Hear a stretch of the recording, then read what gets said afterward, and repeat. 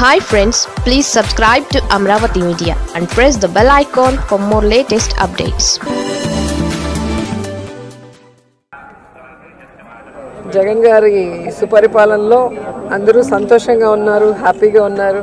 And Jagan గారు కూడా ఎప్పుడు చెప్తుంటారు మనం మాట్లాడకూడదు మన పని మాట్లాడాలని ఈరోజు జగన్ గారు ఏదైతే మేనిఫెస్టోలో ఇచ్చారో ప్రతి ఒక్కటి కూడా ప్రజలకి అందుబాటులోకి తీసుకొని రావటమే కాకుండా ఎటువంటి అవినీతి లేకుండా పారదర్శకంగా వెల్ఫేర్ స్కీమ్స్ని అమలు చేస్తున్నారు కాబట్టి ఈరోజు మీరు చూస్తే ఇండియా టీవీ కానీ ఇండియా టుడే కానీ మూడ్ ఆఫ్ ద నేషన్ ఏ సర్వేలు చూసినా కూడా ఎప్పుడు ఎన్నికలు పెట్టినా మళ్ళీ జగన్ గారే ముఖ్యమంత్రి అవుతారని గంటాపదంగా చెప్తున్నారు. అంటే ఆయన ప్రజల్లోకి ఎంత దూసుకు వెళ్తున్నారో అందరి గుండెల్లో ఎలా నిలిచిపోయారో స్పష్టంగా మనకు అర్థమవుతుంది.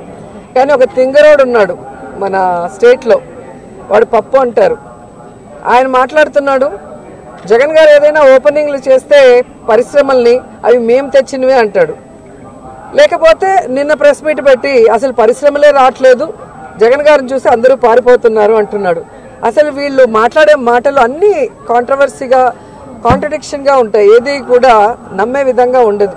ఎందుకంటే ఈజ్ ఆఫ్ డూయింగ్లో కంటిన్యూస్గా two years number one Jaganmohan Reddy garu వచ్చారన్న విషయం అందరికీ తెలుసు.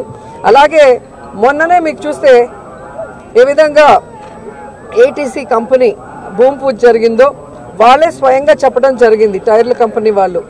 జగన్మోహన్ రెడ్డి గారి ప్రభుత్వం చాలా ఫ్రెండ్లీగా చాలా సపోర్టివ్గా ఉంది.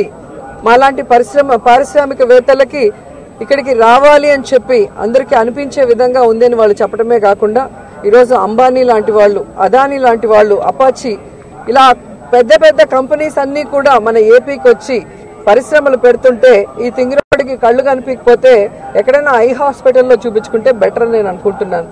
అండ్ ఈ రోజుకి కూడా ఏదో ఒక విధంగా వైఎస్ఆర్సీపీ మీద వాళ్ళ నాయకుల మీద బురద జల్లి మళ్ళీ పైకి రావాలనుకుంటున్నారు కానీ ప్రజలకి నమ్మకం కలిగించి భవిష్యత్తులో అయినా మేము మారుతాం మంచి పనులు చేస్తామని ప్రజల ఆశీర్వాదం పొందాలి అనేది ఎక్కడా కూడా టీడీపీ వాళ్ళకి లేకపోవడం సిగ్గు చేయటని కూడా ఈ సందర్భంగా తెలియజేసుకుంటున్నా.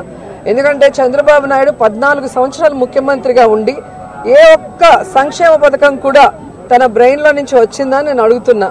అలాగే జగన్మోహన్ రెడ్డి గారు వైఎస్ రాజశేఖర రెడ్డి గారు అలా ఒక్క సంక్షేమ పథకమైన ఒక అభివృద్ధి పథకమైన ప్రజల కోసం ఆలోచించి చేశారని నేను అడుగుతున్నా. కానీ ఈ రోజు మళ్ళీ వచ్చి సిగ్గు లేకుండా మాకు ఒక అవకాశం ఇస్తే అది చేస్తాం ఇది చేస్తాం అంటారు. ఇచ్చిన అవకాశాలకి ప్రజలు విసిగిపోయారు. ముఖ్యంగా ఈరోజు మంగళగిరికి వెళ్ళినా అలాగే కుప్పంకి వెళ్ళిన నానా కొడుకులకి ఎక్కడా కూడా చెల్లుబాటు కాలేదు కాబట్టి ఫ్రస్ట్రేషన్ ఎక్కువైపోయి ఈరోజు మా మీద మా పార్టీ మీద విషం చిమ్ముతున్నారు అనేది ప్రజలు అర్థం చేసుకున్నారు. ఖచ్చితంగా భవిష్యత్తులో వాళ్ళకి అపోజిషన్ పార్టీగా కూర్చునే అర్హత కూడా కోల్పోతారు.